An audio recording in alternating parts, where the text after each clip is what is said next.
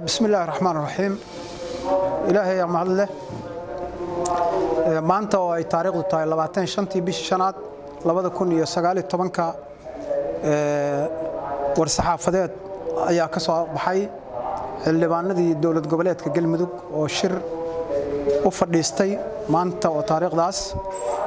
waxayna soo saareen war-saxaafadeedkan waxaana uu qoran yahay sida tan waxaa caawa kulan afur ah iyo wadatasha ah isugu yimid xildhibaanada iyo guddoonka baarlamanka galmudug si la isaga xal waraysto xaaladda maamulka galmudug iyo iyo sidii loo diyaargaroobi lahaa loogu diyaargaroobi lahaa doorashada maamulka galmudug oo wakhtigeedii la joogo. Xildhibaanada waxa ay ka midaysan yihiin oo isku mowqif ay ka naqdeen in doorashada maamulku ay dhacdo wakhtigii loo asteeyey oo ay ku heshiiyeen ummadda wada dhisatay galmudug taasoo ku dhudhmaysay in doorashada madaxweynaha dowlad goboleedka galmudug la qabto afarta bisha julaay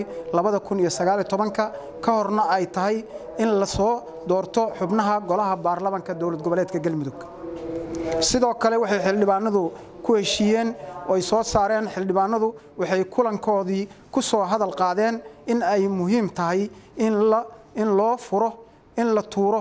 in loo turo shacabka ay wakiilada ka yihiin oo runtii ay haysato xaalado kala duwan oo nololeed si taasi u dhacdana ay muhiim tahay in mas'uul kasta oo ka tirsan galmudug ay waajib ku tahay in uu ilaaliyo dastuurka ay ku wada heshiiyeen reer galmudug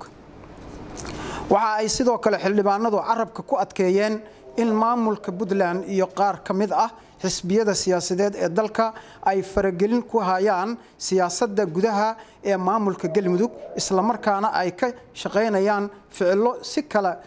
fogeynaya saamileyda maamulka galmudug. Sidaa darteed waxay xildhibaanadu soo jeediyeen in ciddii aan ka shaqaynaynin isu soo dhowaayinta reer galmudug aysan ka shaqaynin in ay sii kala fogeyso galmudug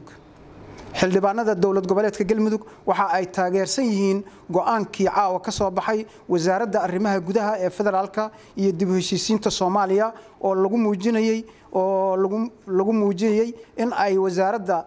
bilowday diyaargarowgii doorashooyinka maamul goboleedyada. Waxaana ku bogaadinaynaa ayay yidhaahdeen xildhibaanadu in la soo magacaabo gudiyadii farsamadii farsamada hawshii si howlaha dowlad goboleedyada doorashada u jahoobay loo fududeeyo ay u fududeeyaan howlihii doorashada. Sidaa darteed waxaan soo dhowaynaynaa mar kale iyo mar labaad war-saxaafadeedkii iyo go'aankii ka soo baxay dowladda federaalka oo hore ay ugu dhawaaqeen madaxweynaha dowladda federaalka iyo wasiirka arrimaha gudaha caawana ay ka soo saareen warqad ka hadlaysa arrimankaas. Wabilaahi towfiiq